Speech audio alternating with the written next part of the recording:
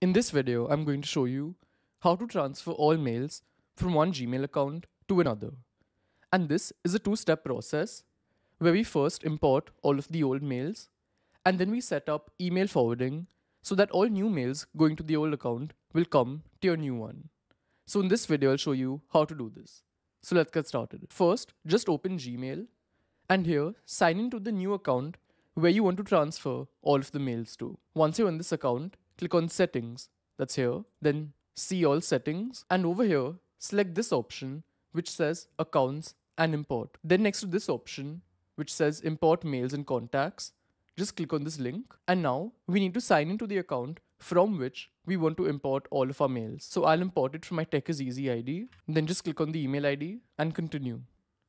And as you can see, they've said authentication is successful. So I'll close this. And now we can decide what all we want to import from this email ID. So they have options for contacts, mail, and new mails for the next 30 days. So I'll remove these two options. And by selecting import mail, we'll get all of the mails which are currently in this account. And then to import them, just click on start import. And now it's being done. Just click on OK. So this may take some time to import. And until then, we'll set up email forwarding from the old account to the new one. So now sign in to the old account. I'll quickly do that. So this is my old account and I want to forward all emails that come here to my new one. So again, I'll go to settings, that's on the top right, then see all settings. Here click on this option which says forwarding. After that, it's the first option here, just click on add a forwarding address. Over here, enter the email ID to which you want to forward the mails. So this should be the new one. Click on next. Now we need to confirm that we want to forward mails to this email ID.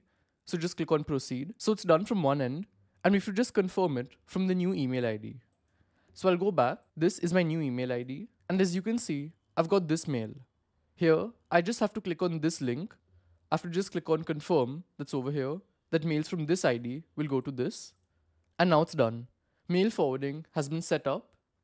And if I go back to my new email ID, as you can see over here under labels, I've got some new labels, which is called techiseasy1 at gmail.com.